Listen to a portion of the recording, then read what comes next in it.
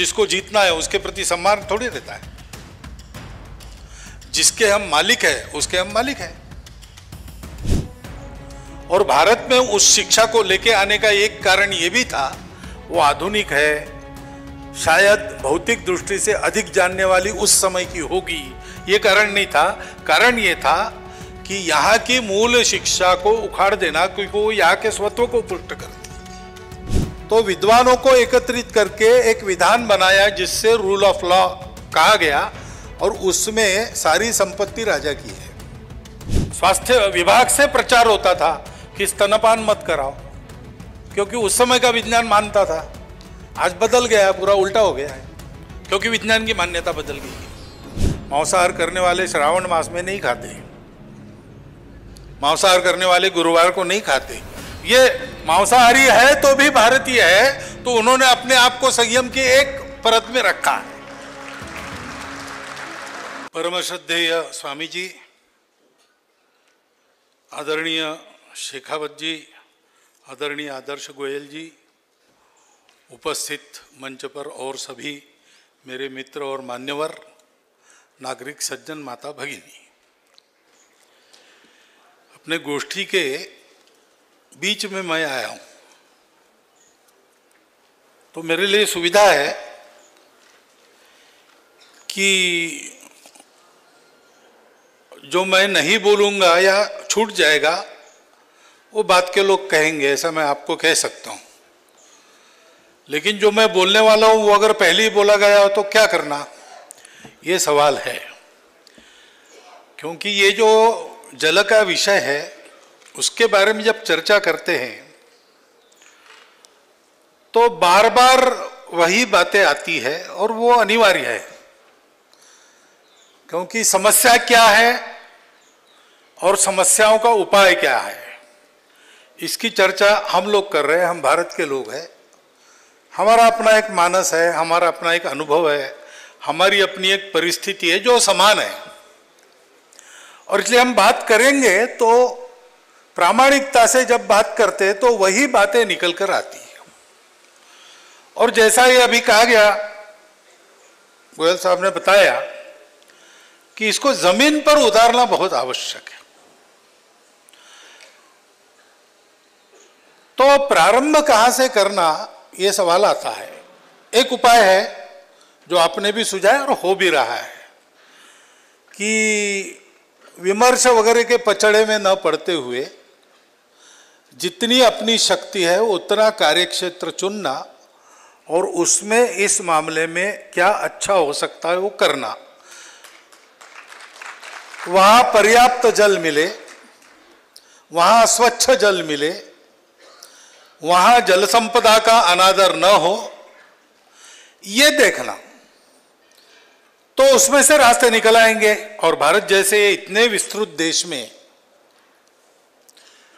एक प्रिस्क्रिप्शन सबके लिए लागू होगा, ऐसा मानकर नहीं चलना चाहिए। अनेक मामलों में हमारा भारत देश विश्व से अलग अनोखा देश है। और आज हम ये जो जल की चर्चा कर रहे हैं, क्यों करनी पड़ रही है? तो कठिनाई हुई। जल का प्रश्न खड़ा हुआ। जल का संकट खड़ा होने जा रहा है और वो हमारे लिए संकट बनेगा। हम होने नहीं देंगे।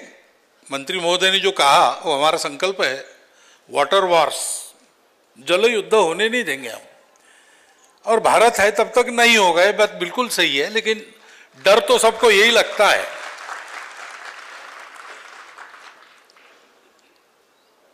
तो प्रयास करना, शुरू करना। एक बात है, वो करनी चाहिए। परंतु कुल मिलाकर सारी दुनिया में इसका उपाय हमको देना है। विश्व पटल पर एक उभरते हुए देश के नाते, आज सारा विश्व ये जानना चाह रहा है कि विश्व जिन समस्याओं में से जा रहा है, उसके हल के लिए भारत की कल्पनाएँ क्या है?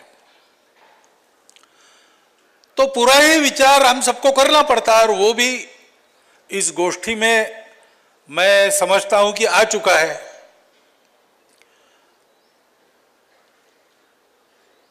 लेकिन उसको समझना बहुत आवश्यक इसलिए है कि हम सबको अगर प्रयास करने हैं अपने अपने प्रयास हम करेंगे अपने अपने जगह, लेकिन ये संबंध, इस प्रश्न का संबंध जैसे हमारे अपने आचरण से आता है वैसे आज कुल मिलाकर नीतियाँ जो बनती है, उनसे भी आता है।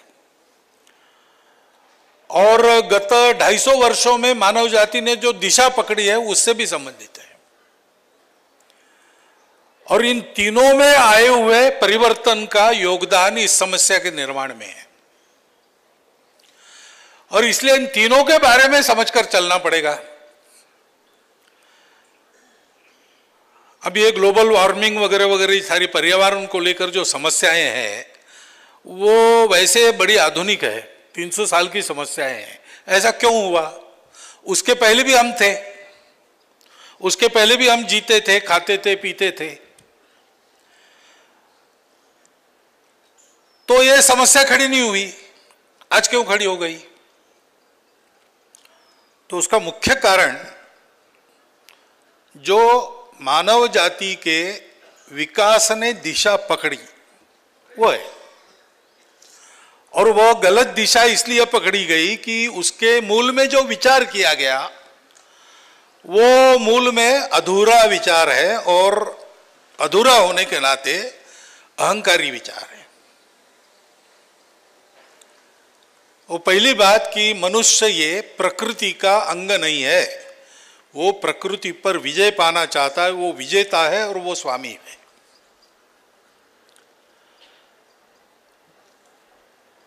इस विचार के आधार पर जो जो हुआ, उसमें प्रकृति के प्रति सम्मान कैसे रहेगा? जिसको जीतना है, उसके प्रति सम्मान थोड़ी रहता है। जिसके हम मालिक है, उसके हम मालिक हैं। लेकिन केवल भौतिक जिनके सामने था। ज्ञानेन्द्रियों से जितना प्रतीत होता है और ज्ञानेन्द्रियों को विज्ञान के साधनों की मदद मिलने के बाद और जितना हम देख सकते, उतना ही है। जो हमें दिखता नहीं, वो है नहीं। ये अहंकार उसके पीछे है। अगर कोई बात मुझे पता नहीं या मुझे समझ में नहीं आती, इसका मतलब वो गलत ही। ऐसा विचार करके चली दुनिया और उसी प्रणाली का वर्चस्व आज सारी दुनिया पर है। उसी प्रणाली का जो शिक्षा का ढंग था, उसमें से हम सब निकले हैं। हम यहाँ बैठे हुए लोग भी उसी शिक्षा में पले हैं। और भारत में उस शिक्षा को लेके आने का एक कारण यह भी था, वो आधुनिक है शायद भौतिक दृष्टि से अधिक जानने वाली उस समय की होगी। ये कारण नहीं था। कारण ये था कि यहाँ की मूल शिक्षा को उखाड़ देना क्योंकि वो यहाँ के स्वत्व को पुष्ट करती तो भारत के भारतीयों के लिए और एक बात है कि हमने अपनी जो सही दृष्टि और सही शिक्षा थी, उसको उखाड़ के फेंक दिया। जो अधूरी दृष्टि, अहंकारी थी, उसको हमने ले लिया। तो अब हमको अपने आप को पहले शुद्ध करना पड़ेगा। क्योंकि प्रयोग तो होते हैं, और ये आज की बात नहीं है। जैविक खेती की बात है, ये आज की बात नहीं है। जैविक खाद तैयार कैसे करे किसान अपने घर में, जिससे देश को फर्टिलाइज़र का इंपोर्ट करना न पड़े। सब किसानों को आसानी से खाद उपलब्ध हो जाए, खाद के लिए उनको कृषि उत्पन्न बाज़ार समिति से कर्जा न लेना पड़े।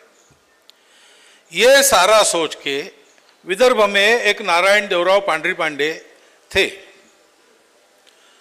उन्होंने एक कंपोस्ट खाद की पद्धति विकसित की, उसके कई व्यापक प्रयोग किए और वो सफल पद्धति बनाई और उसका डाटा लेकर वो मंत्रालय में गए।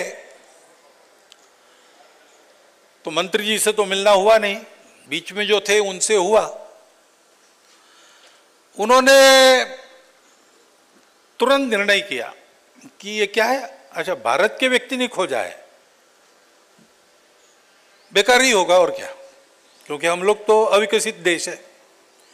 पाश्चिमात्य लोग प्रगत लोग हैं। और वो फर्टिलाइज़र से देखो कितना बड़ा बड़ा उत्पादन निकाल रहे हैं। हमारा छोटा बैंगन, वहाँ का बड़ा बैंगन, कारण फर्टिलाइज़र अब ये परभृत वृत्ति जब तक है ना, तब तक बहुत सी बातें ऐसी अधर में लटकी रहेगी। तो हम सबके लिए एक बड़ा प्रबोधन आवश्यक है। जैसे जल के विषय में प्रत्यक्ष ज़मीन पर प्रयोग शुरू है, शुरू होने चाहिए और बढ़ने चाहिए। उसका उपयोग तो है। वैसे सर्वत्र ये प्रबोधन हमको देना पड़ेगा। सर्वत्र हमको उस अधूरी दृष्टि को निकालकर एक संपूर्णता वाली दृष्टि को लाना पड़ेगा। एकात्म समग्र दृष्टिकोण, ये शिक्षा में तैयार हो। आज वो सिद्ध हो रहा है कि वो वो दृष्टिकोण उपयोगी है। विश्व के आज की सारी समस्याओं का इलाज उसमें है। उसके आधार पर हमने विचार किया, हमारे देश में हम इतने वर्षों से खेती कर रहे हैं। कम से कम दस हज़ार साल हो गए। हमारी जमीनें कभी बंजर नहीं होती। अफ्रीका की कुमारी ज़मीन पर पाश्चात्य ढंग से खेती हुई। 400 साल बाद जमीनें बंजर हो गई। इसका विचार हम करते नहीं क्योंकि हमको लगता है कि वो जो करते हैं, उसके परीक्षा की आवश्यकता नहीं, वो अच्छा ही है। हम जो कहते उसके परीक्षा की आवश्यकता नहीं, वो बेकार ही है। पहले इस दृष्टि का भी इलाज पहले नहीं, पहले बाद में नहीं, साथ में। इसका इलाज करना पड़ेगा। हमारी परंपरा ने हमको ये सिखाया है कि हम प्रकृति के अंग है। प्रकृति के हम प्रोडक्ट है वास्तव में। अभी आपने जग्गी वासुदेव जी का संदेश सुना। एक पहली बात उन्होंने कही कि प्रकृति का सम्मान करो, उसके साथ संयम से रहो। ये हम रहते आए, क्यों रहते आए? इसलिए रहते आए कि हमको ये बताया गया। उन्होंने वो बात कही। जो रमन महर्षि ने भी कही है, उन्होंने कहा कि हमने जिनको देखा नहीं, ऐसे भगवानों की पूजा करते हैं, ये तो प्रत्यक्ष भगवान है। ये केवल उनका इन्वेंशन नहीं है, या उनका आज का कहने का तरीका नहीं है। तो हमारे यहाँ भगवान की, उसी की प्रेरणा के द्वारा अपने आप बनी हुई आठ मूर्ति मानते हैं। वो है पंच महाभूत पृथ्वी आप, तेज वायु, आकाश। सूर्य, चंद्र और जीव, ये भगवान की प्रत्यक्ष मूर्तियाँ है। किसी ने बनाई नहीं, वो है। सृष्टि के निर्माण के साथ, वो भगवत स्वरूप हमारे साथ है। इसलिए हम कहते हैं, जीव सेवा यानी शिव की सेवा है। इन महाभूतों में, सब जीवों में, अंतरिक्ष में, सूर्य और चंद्र ये हमारे बुद्धि और मन के भी प्रतीक है। लोगों की बुद्धि का आदर करना, लोगों के मन को संभालना, ये सारी बातें भगवान की पूजा है।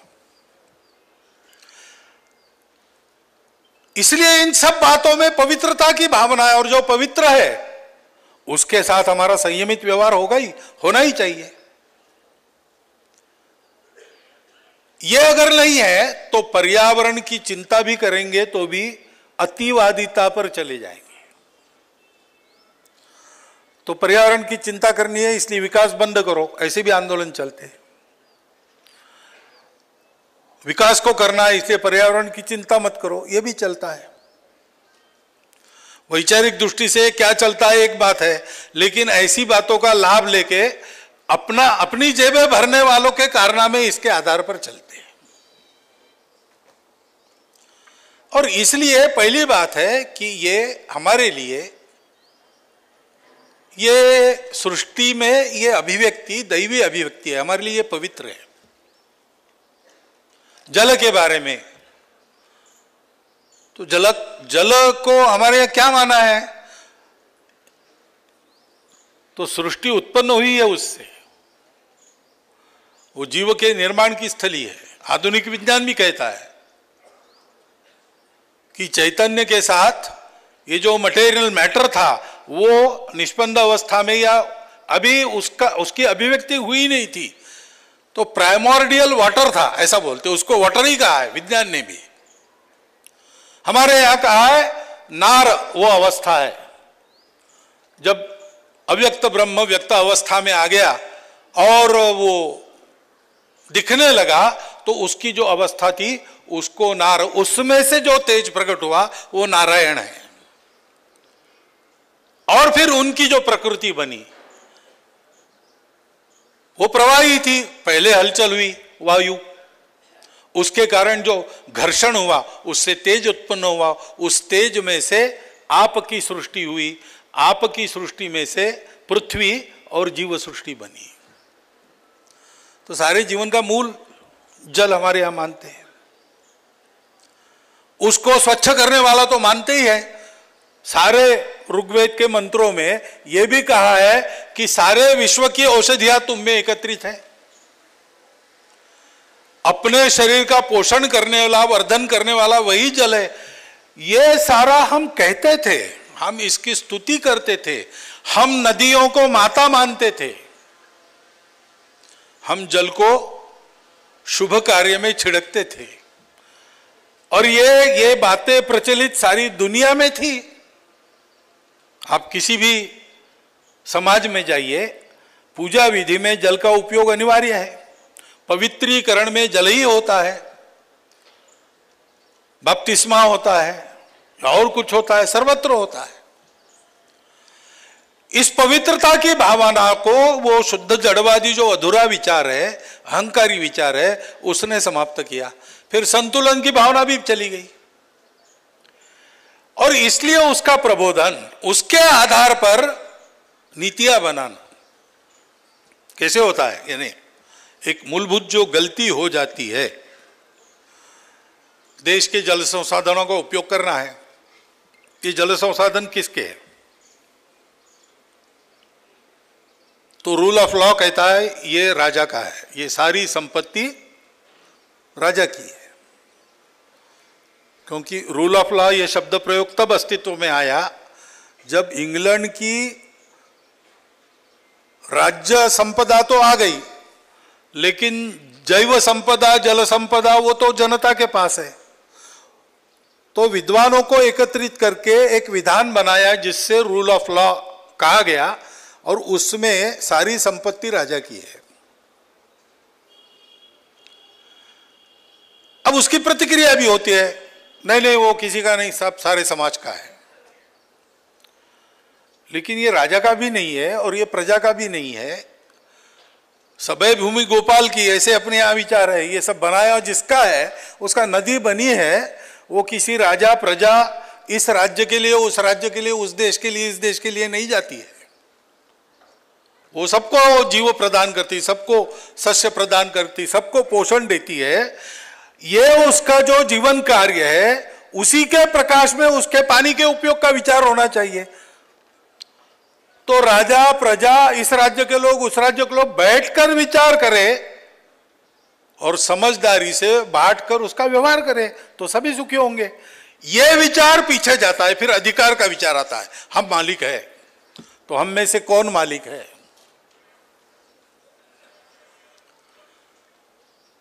सारी बाकी जो समस्याएँ आती है, जो पर्यावरण के विकास में, पर्यावरण के रक्षण में बाधा बनती है, या विकास होने में बाधा बनती है, वो ऐसे ही संघर्षों से निकलती है।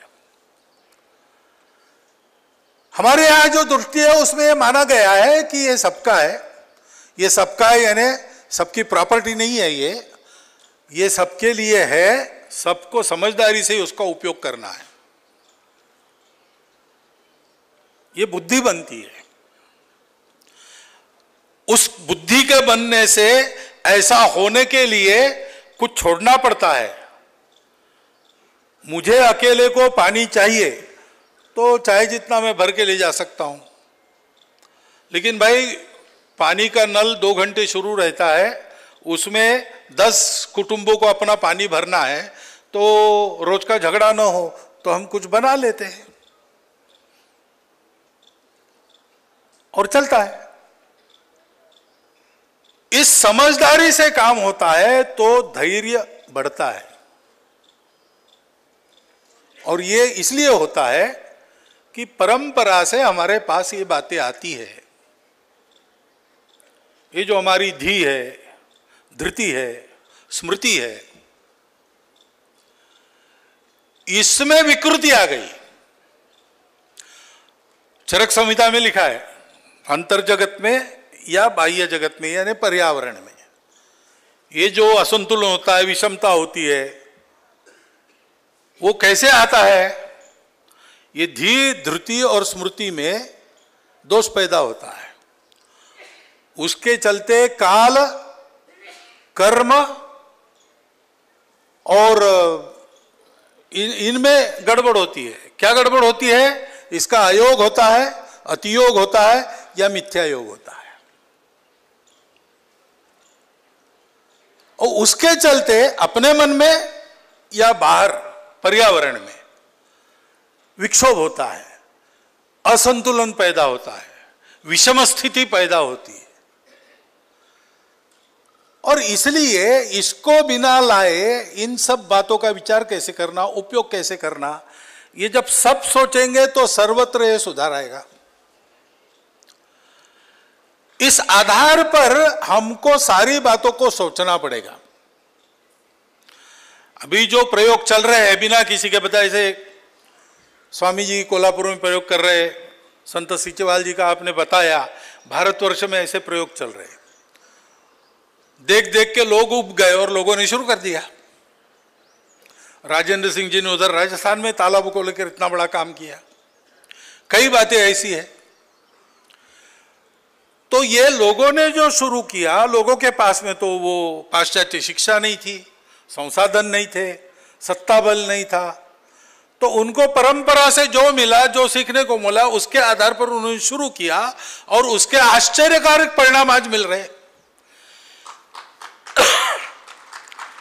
ये प्रयोग मिलकर भी अब चल रहे हैं।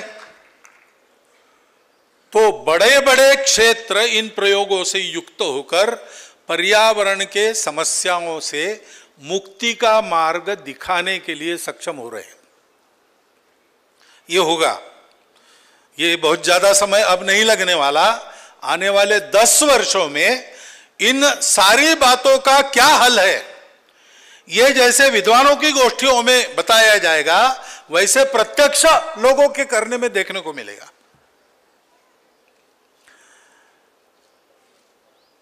इसको जोड़ी होनी चाहिए नीतियों की। जैसे नदियों के अविरलता की बात है, फ्लो की बात आपने की बिल्कुल सही बात है। गंगा इतनी शुद्ध क्यों रहती है? है बैक्टीरियोफाज है, गंगा में ये बात है। अनेक बातें हैं। परंतु और एक कारण है कि हिमालय के उधर से वो गंगोत्री से उतरती है नीचे तो उसका आवेग इतना प्रचंड होता है कि समुद्र को मिलने के एक किलोमीटर पहले नदियाँ खारी हो जाती है सारी। गंगा दो किलोमीटर अंदर तक समुद्र को मिटा करती है। अब यह उसका फ्लो बना रहे, उसकी अविरलता बनी रहे तो गंगा का गंगत्व भी बना रहेगा। हमको सोचना पड़ेगा, नदियों पर बाँध बनाने चाहिए कि नहीं? भाई इरिगेशन के लिए आवश्यक है, नई तकनीक है, नहीं बनाएँगे बिल्कुल, ऐसा कहेंगे तो भी अतिवादिता होगी। तो कुछ मात्रा में इन सारे पंच महाभूतों का नियंत्रण हमको करना पड़ता है। उपयोग करना है तो हाथ में लेना पड़ेगा, हाथ में लेना है तो नियंत्रण करना है। भगवान की पूजा करते समय भी उनकी जो मूर्ति रहती है, उसको हाथ में लेना ही पड़ता है ना। ऐसा लेना पड़ेगा, नियंत्रण करना पड़ेगा। लेकिन उनका अनुमोदन भी करना पड़ेगा। बहना नदियों का स्वभाव है। रोकना कृत्रिमता है। थोड़ी मात्रा में उसका उपयोग करना कोई बात नहीं। लेकिन कितनी मात्रा में करना विचार करो। बहना नदियों का स्वभाव है। बहना पवन का स्वभाव है। इस बहने में अवरोध आ गए। या पवन के बहने में पर्वत वगैरह थे, उनकी रचनाएँ बदल दी, हमने खोट डाला सब। तो भागवत पुराण में वर्णन है, कलयुग में क्या होगा? उसमें एक बात यह भी है कि सारे पर्वतों को माइनिंग करके खोद डाला। तो फिर पवन का जो उपयोग होता है, वर्षा का वहन करने में, वो नहीं, फिर वो तो हवा है, बह के ले जाती है। ऐसा हो गया, ऐसा वर्णन है।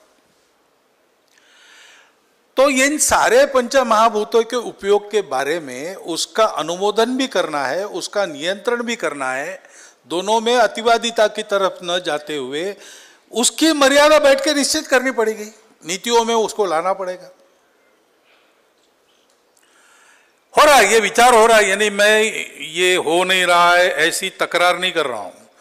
इस दिशा में जा रहे हैं, लेकिन हम सब लोगों को ही जाना है और हम सब लोगों का एक संकट है कि ये जो हमारी परंपरा से आई हुई दृष्टि है, आज हमारे यहाँ जो सुशिक्षित वर्ग है, संपन्न वर्ग है, उसके पास वो नहीं है।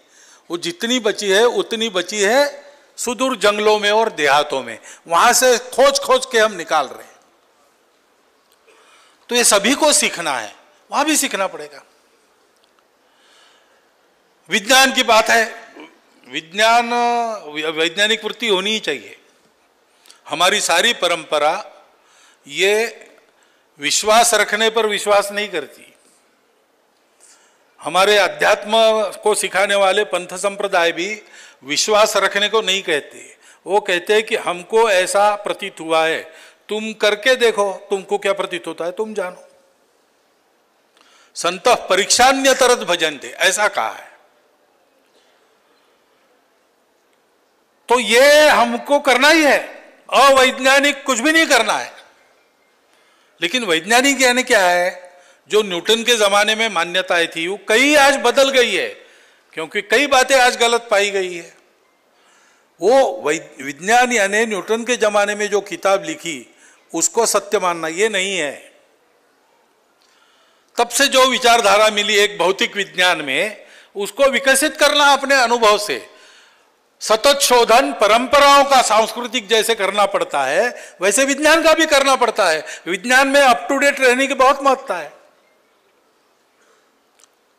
एक एक जमाना था जब हमारे यहाँ और स्वास्थ्य विभाग से प्रचार होता था कि स्तनपान मत कराओ, क्योंकि उस समय का विज्ञान मानता था। आज बदल गया है, पूरा उल्टा हो गया है, क्योंकि विज्ञान की मान्यता बदल गई है। अब विज्ञान का जन्म बहुत बहुत आधुनिक है उस मान से तो। हमारी परंपराएँ इतने वर्षों से चली है, प्रत्यक्ष ज़मीन पर चली है, उसने इतने बड़े देश का, विविधता भरे देश के समाज का धारण, पालन, पोषण किया है, इतने दिनों से हमारे यहाँ की प्रकृति को सुरक्षित रखा है और हमारे यहाँ को, यहाँ के विकास को भी आगे बढ़ाया है। सिरोही का लोहा प्रसिद्ध था तलवार के लिए। स्टील प्रोडक्शन, आठ लोग भट्टी उठाकर ले जाते थे, जिसको चाहिए उसके आँगन में कराते थे। उस प्रति का लोहा आज भी बनना कठिन है यह भी सिद्ध हुआ है। न जंगने वाले लोहे के खंबे हमारे यहाँ गड़े हैं अपने देश के मैदानों में। यह सब हमारे यहाँ था, फिर भी हमारे यहाँ कोई पर्यावरण का संकट नहीं खड़ा हुआ। इतनी खेती हुई, अच्छी खेती हुई, हमारी ज़मीन बराबर उर्वर बनी है। और आज भी हमारे ज़मीन के, हमारे जल के गुण कुछ मात्रा में कायम है। क्यों है? वो भी एक ज्ञान है। उसको केवल यहाँ का है, इसलिए बेकार मानकर छोड़ देंगे तो नहीं होगा। इसलिए हम निकाल रहे उसका प्रयोग कर रहे हैं। लेकिन ये सब ज्ञान के, आज के प्रचलित प्रवाह में लाकर हमको स्थापित करना पड़ेगा। इस दृष्टि से नीतियों का भी बड़ा महत्व रहता है। लेकिन ये सब कहने के बाद भी जो एक बात यहाँ कही गई, वो फिर भी ध्रुव है कि आखिर ये सारा परिवर्तन कैसे होता है? परिवर्तन मेरे से प्रारंभ होता है। मैं अभी जल पर यहाँ पर व्याख्यान दूँ और मैं अपने व्यवहार में जल को न बचाऊं तो कैसे होगा? क्योंकि सारे संकट का उपाय क्या है? जल का भंडारण बन बढ़ना चाहिए। हमारे यहाँ तालाब वगैरह की व्यवस्था थी, जितनी बची खुची है उसको बचाए, जितनी बढ़ा सकते बढ़ाए, और कुछ कर सकते करें।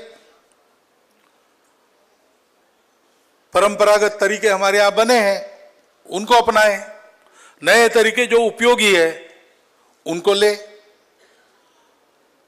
क्योंकि जल पृथ्वी की एक संचित संपत्ति है। वो अपने लिए एक निश्चित मात्रा मिली है।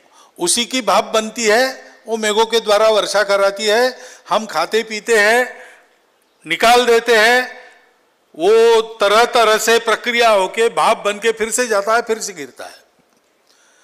इसमें उसका जो लॉस होता है, वो कम से कम होना चाहिए।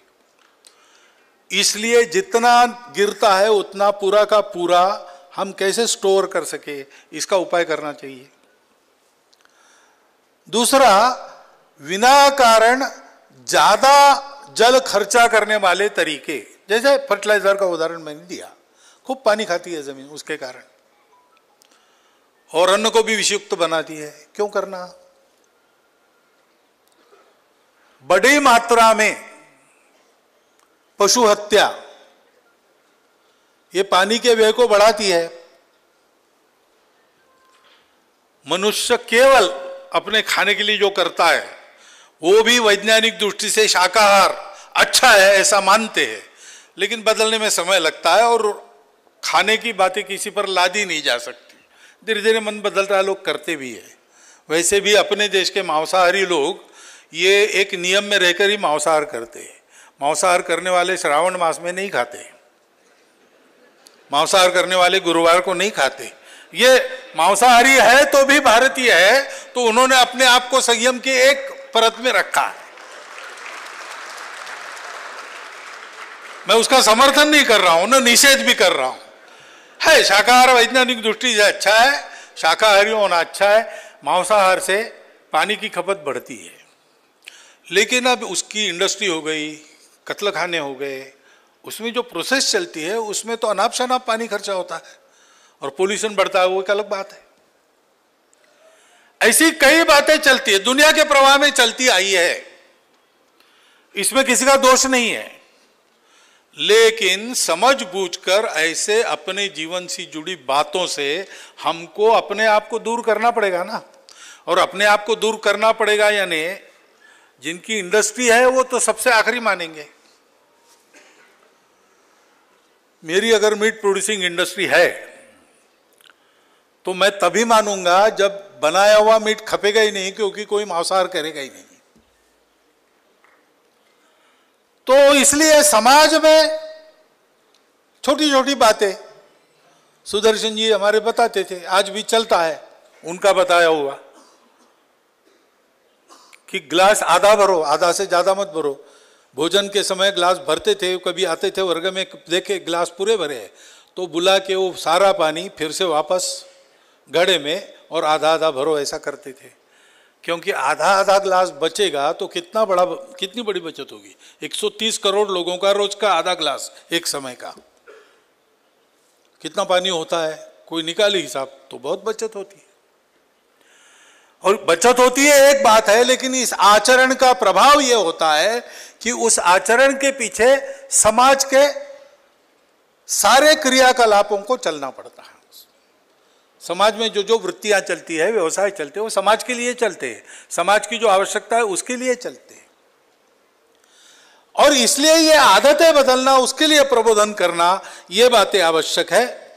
रक्षण करना, संपत्ति को बढ़ाना ये सारा करना पड़ेगा और इसलिए हमको, मैं बहुत विस्तृत वर्णन करता नहीं क्योंकि इस गोष्ठी में मेरे पहले भी जल का अपने संस्कृति में क्या स्थान है, परंपरा में क्या क्या कहा गया है, ये सब आपके सामने आ चुका है। और इसलिए मैं इतना ही कहता हूँ कि ये समस्या ठीक होनी है। तो ये जो सभी पंच महाभूत है उनका हम फिर एक बार अपनी परंपरा की दृष्टि से परिचय करा लें। हम उनको जाने।